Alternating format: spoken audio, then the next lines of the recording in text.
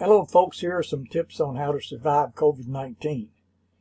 Uh, you need to lose weight if you're overweight or you're obese or morbidly obese. You need to exercise, even if you're normal, healthy weight, you need to exercise. That keeps your heart and your lungs healthy. Take vitamin C and D, and they also say take zinc, which I think you can get as a supplement. Plus, also, it's in, if you take a multivitamin, it's in a multi uh, uh, which is nice to take on a daily basis. Also, eat a healthy diet and get plenty of sleep.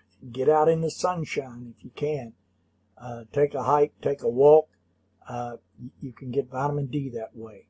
Anyway, that's the way you survive uh, COVID 19. Thanks a lot, and you folks have a nice day. Subscribe.